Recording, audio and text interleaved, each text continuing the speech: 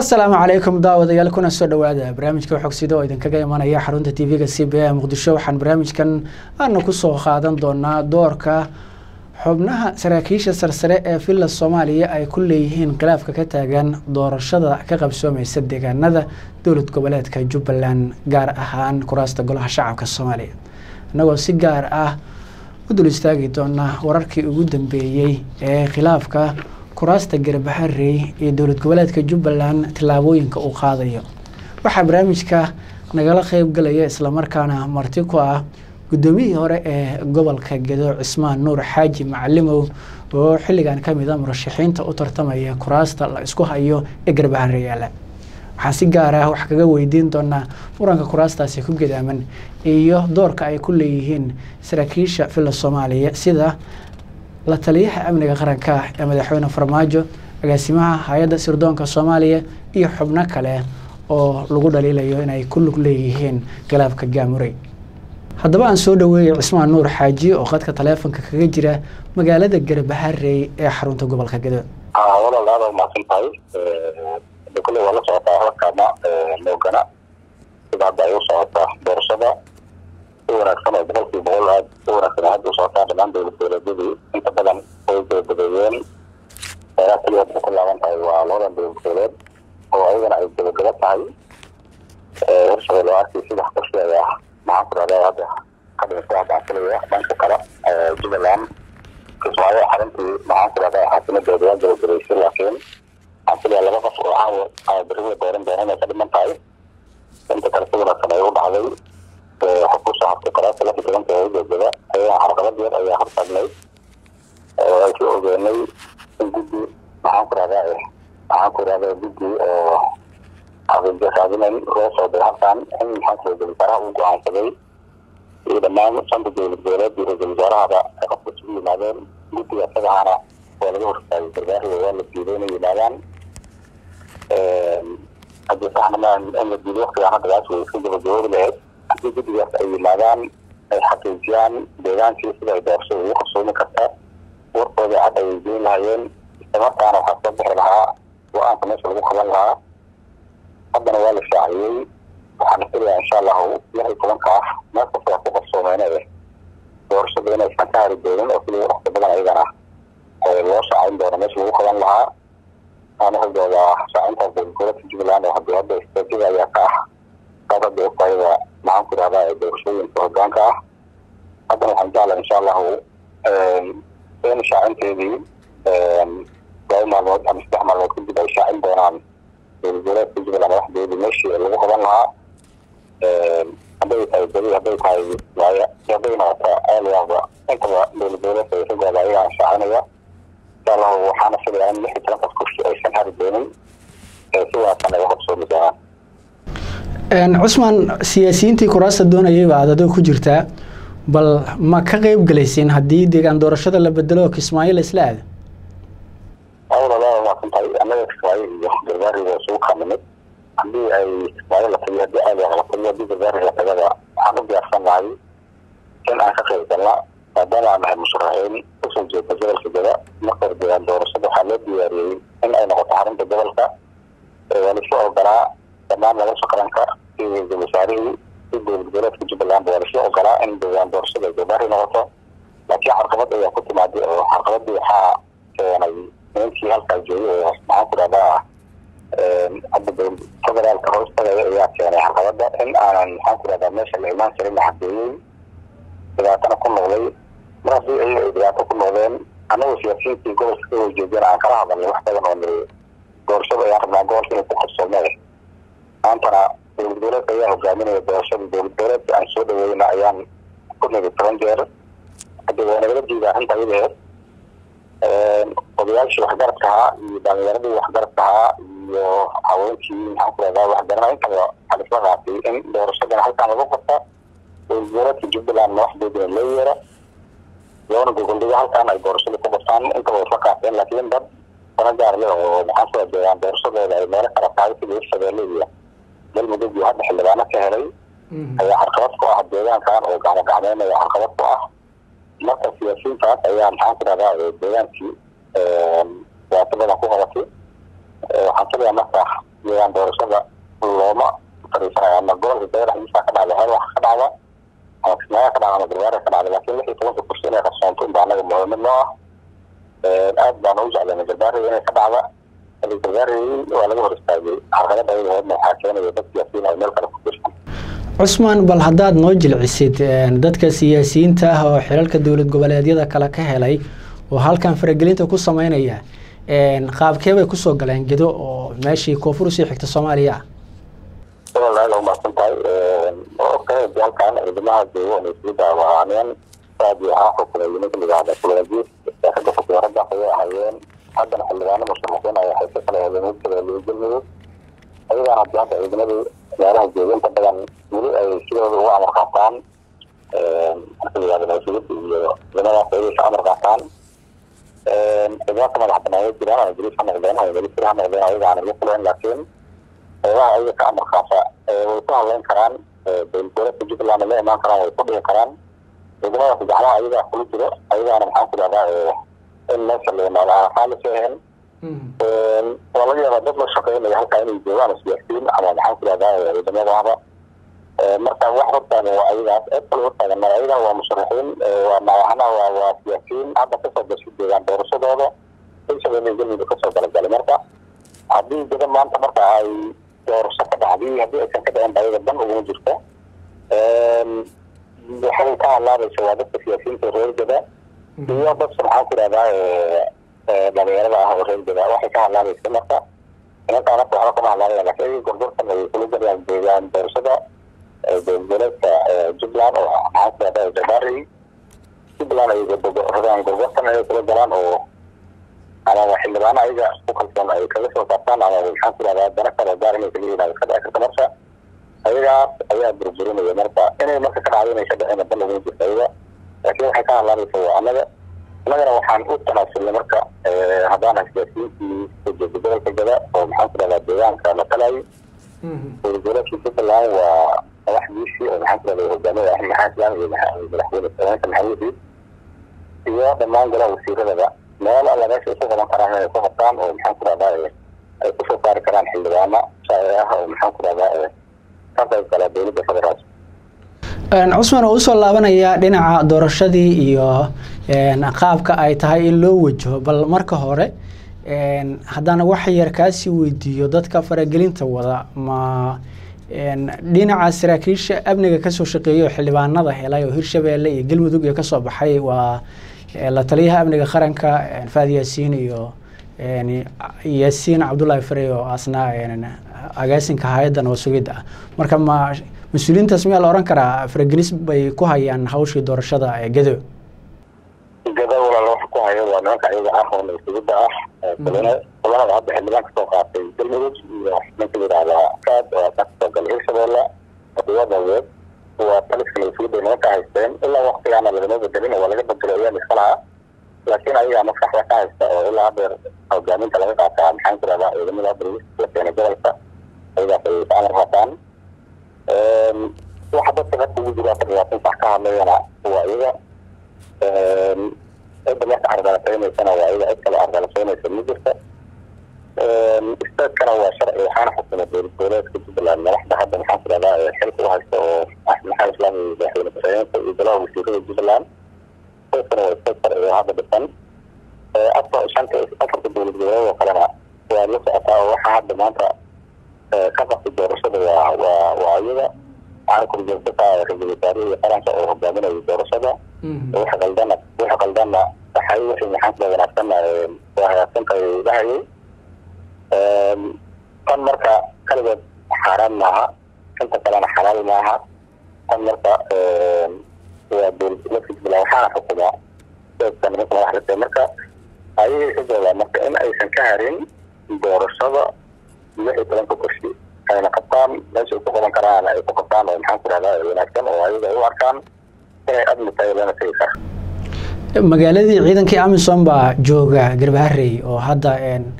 amni kismaayo ay kaga duwanaan karto si badan ma muuqdo maadaama amisom xagga joogto halkaana joogto. Miyaa lagu kalsoonaan waaya amisomta halkaa joogto etoobiya iyo dalalkii gobolka? Walaal mahadsantahay tan. Amni marka la yidhahdo waa amni. Aniga hadda kula hadlaya barkow markii al-shabaab laga qabanay raggii ka soo howlgalaan ahaa beelow ilaa iyo baar dheerana ku fadhiy haddana waa kusiyahay dowladan waa amni dhinaca al-shabaabka lala dareer marka yidhahdo laakiin waxaysan amni ahayn oo lala dulmasiiyahay dhinacii maxaan ku dhahdaa ee dowlad goboleedka jubbaland dowlad goboleedka jubbaland nimanka la dareerayo waa nimanka hadda siyaasiyiinta oo hadda kushegay federaalka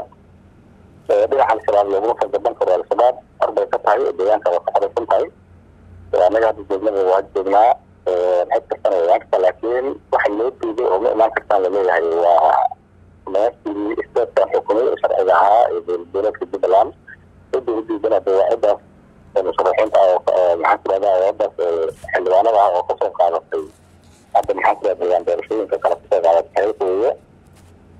annaga marka reergada dantooda waxay ku jirtaa in ay kashtaan deegaankoodana aanay laga xukumin meel kale haddii la xukumayo in ayaga ay xukumaan reergada oo ayaga ay go'aankooda iyo nasiibkooda ku gaaraan ayay dantooda ku jirtaa marka hadday ka gaari waayeen oo hadda danahoodii ay arki waayeen waxaa xaqiiq ah reerkan dadka xukumay waxay joogaan dowladgoboleedka jubbaland oo caasimada kismaayo ah. Doorashadana ayaga ka goodaa lix iyo tobanka kursi waa waa la shaaciyey. Haddii mar la shaaciyeyna waa qasab. Halka la joogo aan laga shaacin waa lagu qaban karaa meel kalena way u bedeli karaan marka ayagana ka goodaa ayagaana maxaan ku dhahdaa inay qabtaan maxaan ku dhahdaa waan ka siiyeen haddii lahaa alkan anna waxaan ka mid ahay musharaxiinta anna waxaan ka mid ahay musharaxiinta u taagan xilkaas faraasta lix iyo tobanka ah ka mid ah qorkiga ka mid ah waan u taagan insha allah waana ka qayb galaa meesha lagu qabsado way cusmaan waxaa jirta in la yiri doorasho madax bannaan oo ka madax bannaan jubbaland baa la qabanayaayo garbahare abaabulkooda ka socda. Arrintaas xagee wax marayaan maxaase ka jira? Yaa sadabada ka riixaya bal walaalayaa qaban karaa dee waxaa sharci haddaysan ahayn cid maxaan ku dhahdaa qaadanaysa ma jirta doorasho madax bannaan waxaa qaban kara dowlad goboleedka jubbaland iyo ra'iisul wasaaraha oo maxaan ku dhahdaa ee hogaaminaya doorashooyinka.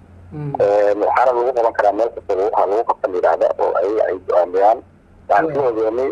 shanta dowlad goboleed iyo dowlad goboleedka jubbaland waxaa laisla shanta dowlad goboleed iyo ra'iisul wasaaraha waxaa laisla qaatay in laiskugu imaado markay doorashadii waktigii loo qabtay ay dhamaatay. Iyo shan iyo toban beri in dib loo dhigay. Gobolka gada in guddi xaqiiq raadin ee loo saarana ra'iisul wasaaraha ayaa magacaabay ra'iisul wasaarihii guddiga uu qabtaa la yidhi ma tegi kara meesha oo maxaan ku ciidamadii iyo wixii dhan loo abaabulay oo dabaankii maxaan ku la xir. Marka mar haddii arrintaa ra'iisul wasaaraha guddiga uu qabtay meesha ma tegi kartadii lalahaa way caddaatay waana sax marka doorashaan qabanayna yidhahdeen halka hadda joogo oo hadda maamulka sheeganay oo ahaa maxaan ku dhahdaa kila soomaaliya hoos tagay. Nimanka marka doorashada waa qabanayna doorashada masharci lagu qabtaa layska qabaa guddi doorashooyinha la sameeyey heer federaal iyo heer dowlad goboleed laguma laguma soo darin gobolka gada guddiga asaga ah. Marka guddigii qaban lahaa oo heer state dhisan yahay guddiga qaban lahaa oo heer federaal waa dhisan yahay waxayna hoos tagaan dhamaan ra'isul wasaarihi qaranka marka waxaan kale oo ka qabanayna le waa ka dhimaxshow iyo dareen waayo wax hadda maanta dad dowladayana ma jirta cid maanta hadda maanta doorashada la qaban karaa dhigi kartana ma jirta cidda qabatana de waa cid iska ciyaaraysa oo maxaan ku dhahdaa iska dareereysa dib u dhacna saddex sanaa lagu soo jiray saddex sano lagu soo jirin waxay saddex sano oo la diidanaa. Dowlad goboleedka jubbaland oo reebada waa diidan lalahaa ay buuqayeen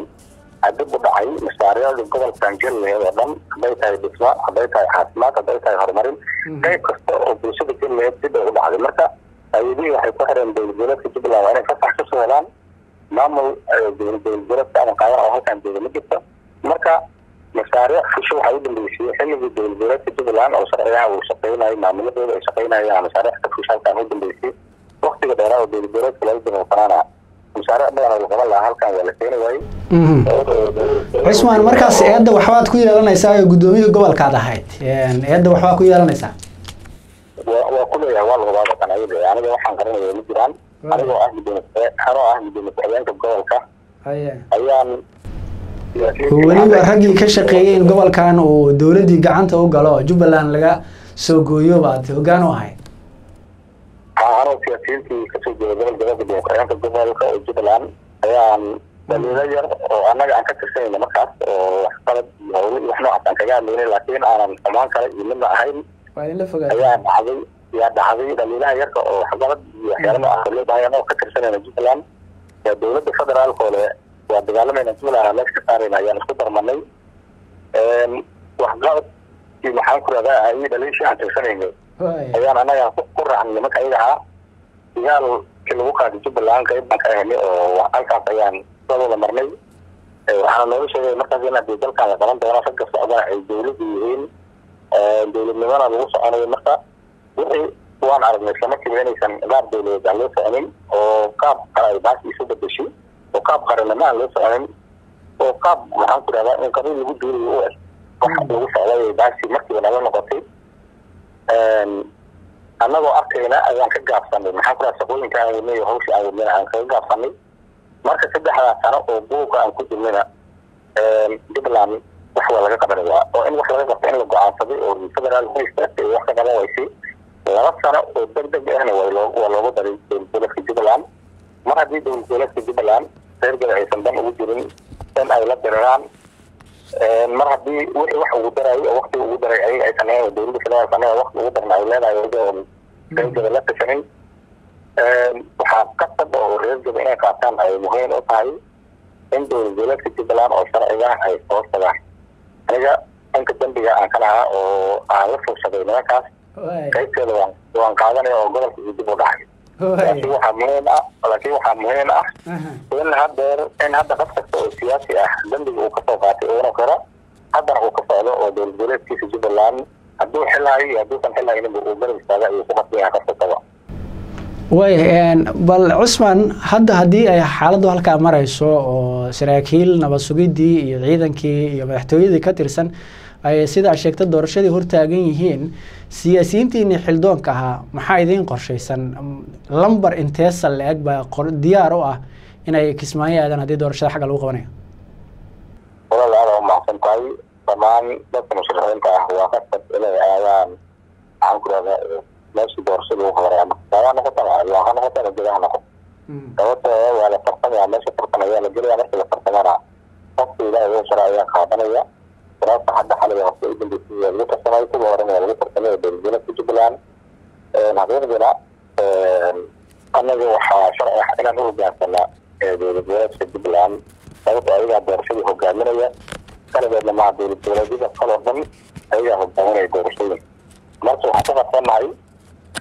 dhammaan siyaasiyiinta ayaga inaan hoos tagnaa madaxdii goboleedka jubbaland inaan qaadana kuraastii oon u tarsananaa oo ku qabsanahay maantana inaan u hogaansana maahan gobolka in meel kale laga qaso oo gacmo meel kale ay ka soo qasaana inaan qaadano sax maan aniga waxaan ahay musharax xildhibaan anoo musharax amaba xildhibaan ah in maanta galmudug iyo hirshabeelle aan gacmeeyo oo dadka degan ay hogaansamaan ma dhacaysa. Sababto anoo xildhibaan ah haddaan maanta ama siyaasiyiinta ka soo jeedo hirshabeelle ama siyaasiyiinta ka soo jeedo galmudug aan gacmeeyo idhahda halkaas sidaa hala yeelo ciidamo sidaa garoonka hala celiyo haddaan idhahda aniga igama yeelayan saxabtaas iyo siyaasiyiintoodaba marka reergeedana waa inay iska ilaaliyaan dadka meelaha kale ku soo gacmeynaya oo duminaya oo gobolkan maxaan ku rahdaa jubbaland daahida ka soo gelaya oo hadda ka banaysanaya meel ay ka galaan raadinaya inay iska ilaaliyaan aad baa maxaan ku rahdaa ugu talinayaa haddaan nahay reergeedana dhammaan danahana waxay ku jiraan. Inaan hoos istaagna ama aan u hogaansano dowlad goboleedka jubbaland oo sharciga oo hadda shaqeynaya welina aanay hadda talada ka wareegin oo taladooda hadda ay shaqeynaysa inaan hore maxaan ku rahdaa la shaqeyna aad baan ugu qabsana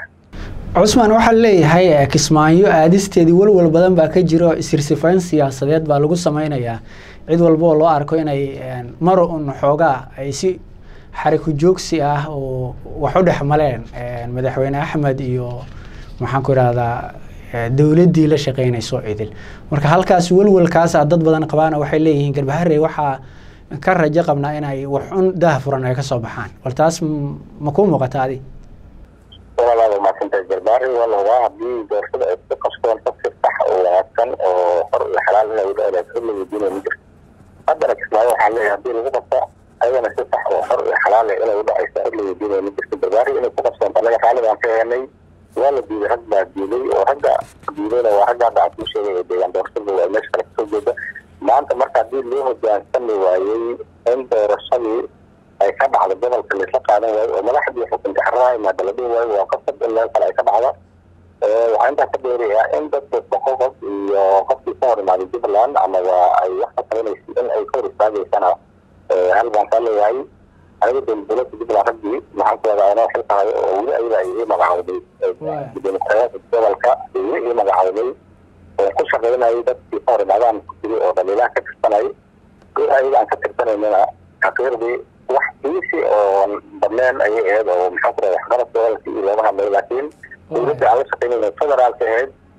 waxyaabo aan weli dalka soomaaliya lagu arag ayay gobolka kula dhaqmatay. Sababtoo ah qabiil laguma adoonin dowladgoboleedkan jubbaland ragga shaqaynaya hadda qabiil iyo waxyaabo dadku aan sariixaynin qabiil ayay dadkii shacabka ku kala abuureen siyaasiyiintii waxay ku kala abuureen qabiil iyo waxaan loo joogin iscaburin waxyaabo aan loo joogin oo maxaan ku rahdaa hadda aan miidiyaha ka sheegi karin ayaa raggaas keeneen laakiin dowladgoboleedka jubbaland intaba ayadeeda saxaas mawqafi haddeer raggii ka hormaadaan aniga oo marka hore sida qalabkeed kaga hormaaday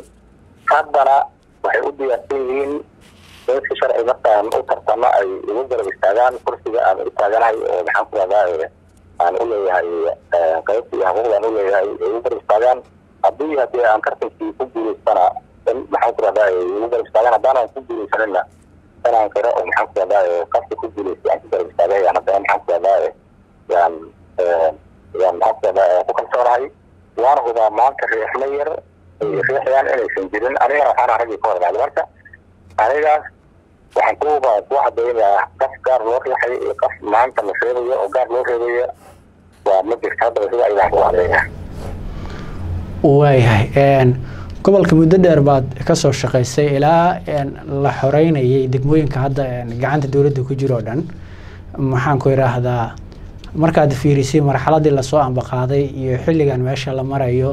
oo aad tiri qabiil iyo siyaasadii oo ciidankii dhex gashay baa wax lagu maamulayaa. Bal dadku maxay rajo qabaan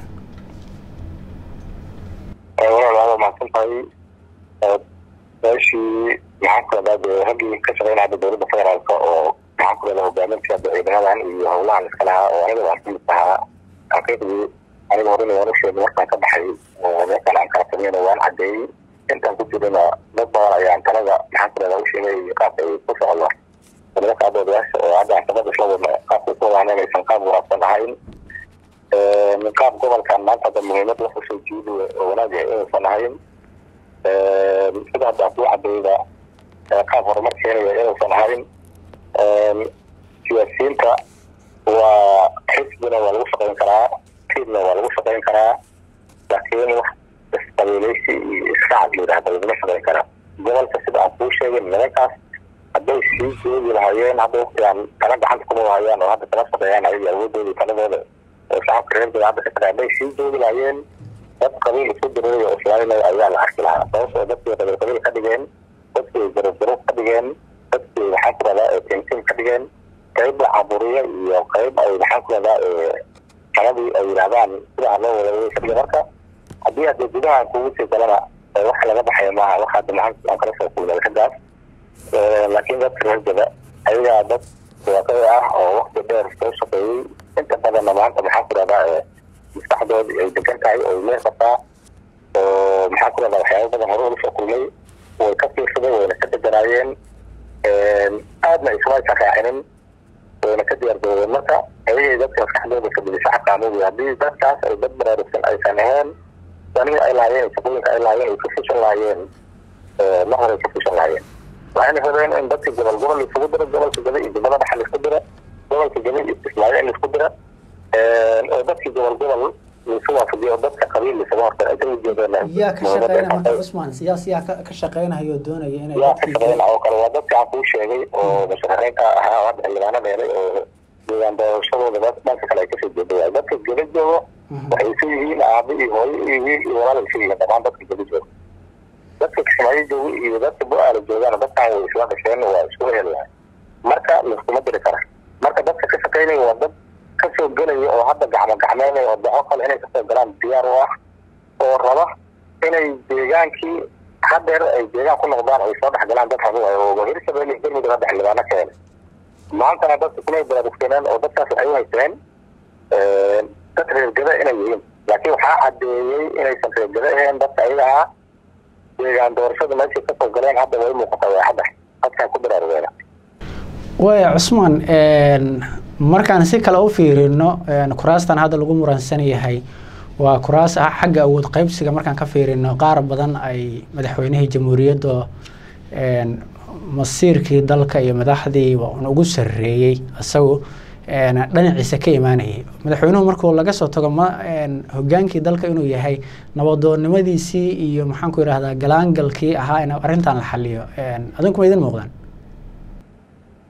madaxweynaha wuxuu u diyaarsan tobankaas bee taalo siduu ku heli lahaa wuu diyaarsan yahay laakiin lix iyo tobankaas waxay sharciyad u haysataa oo sharciyadooda iskale madaxweynaha iskama laha dowlad goboleedka jubbaland nimanka xukuma ayaa sharciyad ku leh inay hogaamiyaan soo saaraan doorashadooda. Lix iyo tobankaas beelay ka soo kala jeedaan beelay ka soo horjee beelay ka soo jeedaan beelaha iyaga ena waxaa u soo saaraya dowlad jubbaland iyo odayaasha dhaqanka oo beelaha ah. Marka madaxweynaha wax door uu ku leeyahay ma jirto. Sababtoo ah tirintii la galayo oo shanta dowlad goboleed iyo gobolka banaadir iyo ra'iisul wasaaraha ay galayeen madaxweynaha kumausan jirin. Isagiina madaxweyneyaalka horeba waxay ka ahaayeen banaanka marka maadaama uu intaaba banaanka ka ah hadda marka inuu hadda ku sii dhexaldo ama wax ka sii qaadiyo hadda maanta ilama wanaagsana mana dhacayso. Haddii hadday dhacdo inuu dhex ordana dee madaxweyneyaasha kale unbuu weliba noqonaya cusmaan si guud haddaan uga soo laabano halkaa doorashadii iyo si guud haddaan u fiirino waxaa soo kordhay in madaxweynihii puntland siciid cabdullaahi deni uu ku dhawaaqay inuu yahay musharax u taagan madaxweynaha jamhuuriyadda federaalka wuxuuna ka mid ahaa dadkii aadka ugu saameynta badnaa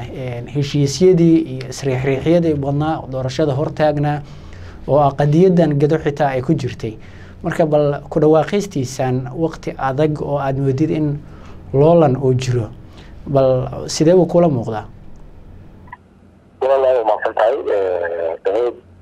cabdullaahi bele waa madaxweyne musharax madaxweyne. Xaqiiqdii aniga kala iyo hadda maanta maxaan ku rahdaa kolay si laga weydiiya. Xaqiiqdii waa nin u qalma madaxweynaha dowladda soomaaliya. Waxaan arkaa puntland inuu aad iyo aad hogaaminteeda u qaatay saameynta marka yidhahdana dowlad goboleedyada hadda ninka aad ugu saameynta badan xagga ugu saameynta badan ayuu lambarkuu ka yahay xaqiiqdina musharax shaacintiisa aniga shakiga ka qabay waxaan islaa buga de waa la shaacinayaa iyo madaxweyne u socdaa waa lalahaa laakiin weli muuska shaacinin xali ka hore xali xaqiiqda weli laa ka qabay waxaan islaa hadduu ama uu soo shaacinayaa oo ama uu sharax waaya laakiin hadduu xali soo sharaxay xaqiiqda ka siyaasiyiin ahaan aniga aad baan u soo dhaweeyey waa nin madaxweyne u qalma waana ku farxay. Haddaan ahay siyaasiyiinta reer badana waxaan leeyahay allaha ku guuleeya xilka madaxweyne ee rahdaa gacantiisa allaha geliyo haddii waayana insha allahu kolay asna waad maqlis hadalkiisa musharaxiinta kale insha allahu meeshii kale ugu guuleysa ayaa haddina insha allahu laga shaqeyn doona haddii lahaa aada ba umahadsantaha cusmaan nur xaaji guud ahaan daawadayaal intaas waxaa ku dhan barnaamijka xogsida oo idinkaga imaanaya xarunta c b a muqdisho. Waxaa barnaamijkayga la qayb galay cusmaan nuur xaaji macalimow guddoomiyihii hore ee gobolka gado ee dowlad goboleedka jubbaland. Oo xilligaani ka mid a siyaasiyiinta doonaya kuraasta golaha shacabka kuwooda la isku hayo. Waxaana barnaamijka aanu ku falaqeynaynay doorka ay xubnaha villa soomaaliya ku leeyihiin khilaafka loo xalka la-yahay ee weli ka taagan doorashada jubbaland deegaan doorashada labaad waxa uu sheegay macalimow in xubno ka tirsan villa soomaaliya ay doonayaan inay marin habaabin ay ku sameeyaan hanaankii doorashadaas ay ku qabsoomi lahayd. Waxa uuna ku eedeeyey in ay wadaan iska horkeen bulsho sida in ay qabiil ahaan qaab kale intaba ay doonayaan inay bulshada iskaga horkeenaan. Barnaamijka waxaa dhinaca kaamirada noo fadhida buushre cali nadiir anaa cawile waa in la socodsiinaya dhinaca farsamadana waa injineer cabdicasiis maxamed shiile nabadgelyo